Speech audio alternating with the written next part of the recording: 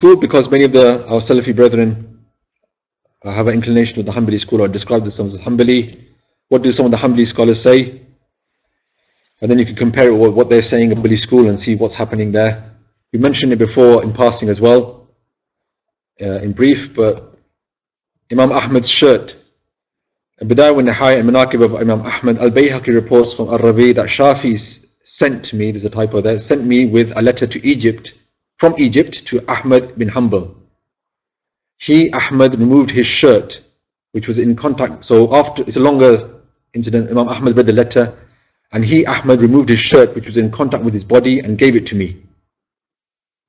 So Imam Shafi uh, is the teacher of Imam Ahmad. Ahmad is the student of Imam Shafi, by the way. When I returned back to Shafi, I informed him of this. And he said, so Imam Shafi said, wet it, meaning wet the shirt with water and give it to me so I can make tabarruk with it. And another version of it, I would see him, Imam Shafi, every day take from it, meaning the water from the shirt, and wipe his face seeking blessings from Ahmad bin Hanbal. Imam al-Saffarini says this story has been narrated by a number of routes. So he said it's an authentic narration. Many people narrate this. So Imam Shafi'i would, would seek blessings from the shirt of Imam, Ahmad, his student, because he was a great, great scholar. Tabarruk with Jubba, Ibn Muflih says in Al-Adab, Al-Marudhi said in his Kitab al-Wara, I had Abu Abdullah say, says Imam Ahmad's kunya is Abu Abdullah, Yahya bin Yahya left his Jubba for me, and his son came to me with it. I said, a pious man who worshipped Allah in it, I will seek blessings from it. That's what Imam Ahmad said when for this jubba was given to him. And also his son, Imam Ahmad's son, said that I had a shirt of my father and there was a fire in our house. And when the fire was raging, I, the thing I was thinking about was the shirt. And when the fire was put out, I went into the house and I found that the whole house had been burnt down except for where the shirt was. And around the shirt, it was protected. Okay, so that's one, you know, he saw that that was one of the blessings of his father's shirt. So that's mentioned in historical sources, which is not denied. Uh, treatment via a grave. So be careful with this one because it's open to um, open to misinterpretation. Hafiz Diya'adil al-Maqdisi in Hikayat al-Manthura, Hafiz Abdul Ghani al-Maqdisi, and these are great Hanbali scholars that the Salafi school love and respect. They said there appeared on my upper arm something resembling a boil. It would it would heal and then reappear, and this went on for for a long time. I traveled to Isfahan and then returned to Baghdad with it, meaning the boil. It's something which had pus in it as well, which was causing him like discomfort. I, I went to the grave of Imam Ahmad ibn Hanbal, God be pleased with him, and wiped it on the grave. I found that I was then healed and it did not reappear. This is what a great scholar is doing from uh, Sunni Islam, from the Hanbali school. Tabarruk via pen. I don't know quite how this works. People who know about agriculture might be able to help with this one. This is Manaqib of Ahmad ibn al-Jawzi. So these are Hanbali scholars, what they're mentioning. The scribe of Imam Ahmad, Abu Talib Ali bin Ahmad's pen broke and Imam Ahmad gave him a pen. The scribe took the pen to Abu Ali al-Ja'fari who was overjoyed and gave it to his servant saying, take this pen and insert it into a tree or a pod or something, a, a date palm pod. So perhaps it may germinate.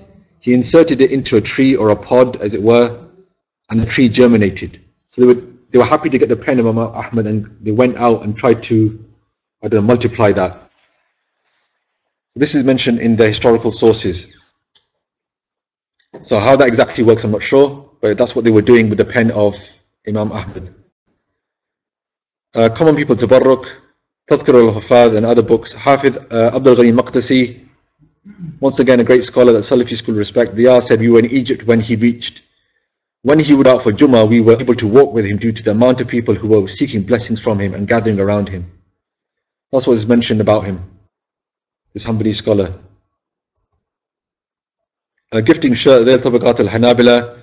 Diya al-Maqdisi said, I had Abu Musa uh, also rate from a man from Dimyat who said, we were one day with Hafiz and I said to myself, I said, I said in myself, Remember, he doesn't say this out loud. I said in myself, I wish that Hafiz would give me his garment touching his body so that I can be shrouded in it. When I wished to leave, he said, Do not leave. When people had left, he removed his garment which was in contact with his body and gave it to me. He said, the garment remains with us. And anyone, so that's what he said. And then this person who took the garment, he said, he said, the garment remains with us and anyone who falls ill and has a headache, we place it on him until they are better with the permission of Allah Ta'ala. So this is what the Hanbali scholars were doing. Going on, tabarruk with handwriting, that's what the Hanbalis were up to, or these type of Hanbalis at least. Uh, of Sheikh Abu, Abu Umar al-Maqdisi of uh, of Maqdisi. I heard the pious worshipping Sheikh, the one whose dua is accepted, Nasr bin Sulaiman, say, Sheikh Abu Umar wrote two letters to me. I found that any place of illness which I placed them on would heal with the permission of Allah Ta'ala. So this is a great scholar, just his, his handwriting this person was finding was the blessings from his handwriting Allah Ta'ala was causing. So he places the handwriting on a particular place which is hurting and Allah Ta'ala would remove the pain from that area. And I heard Ahmed bin Bilal al-Maqdi say, I have not seen the like of the writing of Sheikh Abu Umar. From the time I wore it on myself, that fever left me. So he had a fever, and when he would place it on his body, that fear would leave. That's what he found. Allah Ta'ala was causing that to happen.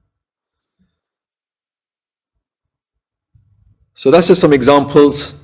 Obviously these are pious people. There's other people now, they might write pages and pages of ta'weez and it has zero impact. Why?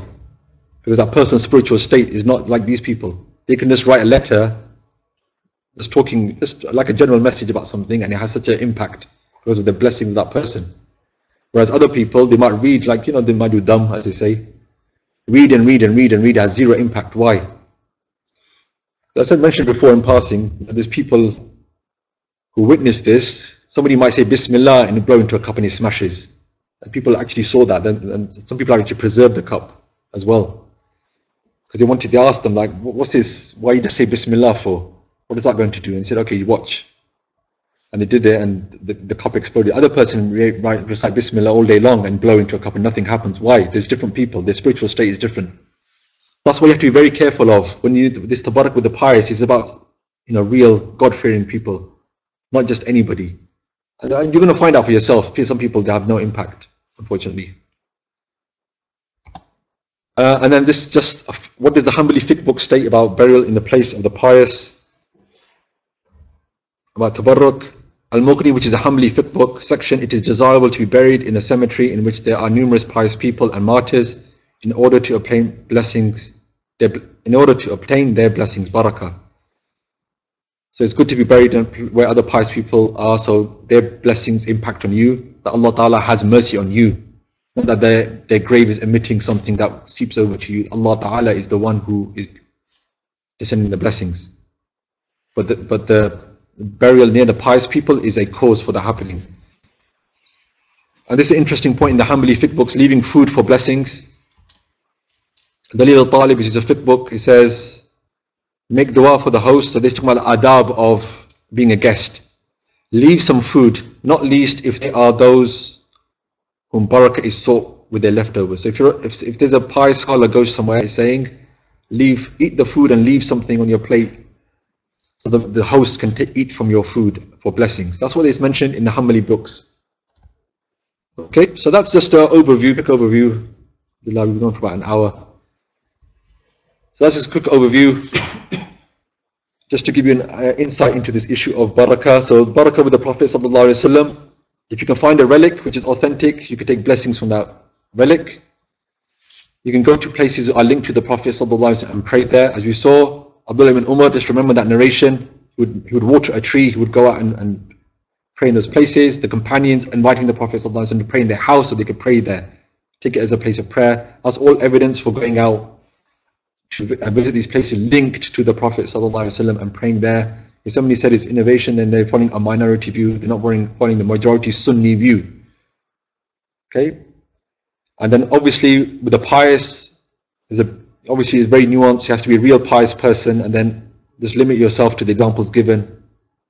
And obviously it's open to abuse as well for unscrupulous uh, people who are corrupt, um, uh, who, who try to take advantage of this ruling as well. So you have to be very careful on the second one as well. But just to point that out as well. And as you mentioned about the adab of visiting the Prophet we don't kiss the grave, we don't touch the grave, we don't touch graves generally, but we don't label those people either obviously you don't want to mention that ruling too much as well because then people it opens the door to them as well.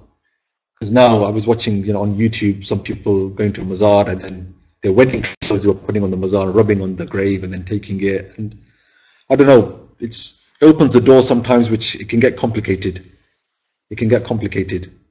And there's all sorts. I mean, anyway, I don't know if that's a common custom or not, but I mean, going there making dua, which is fine, but now taking your headpiece off and then putting it on the grave and taking it on, putting back on, and uh, etc. So that second point by the awliya, it's, it's, it's, it does exist. Blessing does exist from the scholars, without a shadow of a doubt, but obviously within limits as well. Okay, so that we pause there, inshallah, and then on Friday, God willing, we just talk about visiting the, the, the grave of the Prophet wasallam with as a journey, and then we just talk about visiting holy sites as well Inshallah, if we have time. Uh, and it, all of these topics are interlinked as well, anyway. So we're going to discuss it today, but we didn't get the opportunity due to the length of this presentation. Okay. وصلى الله على سيدنا محمد وعلى آله وصحبه وسلم والحمد لله رب العالمين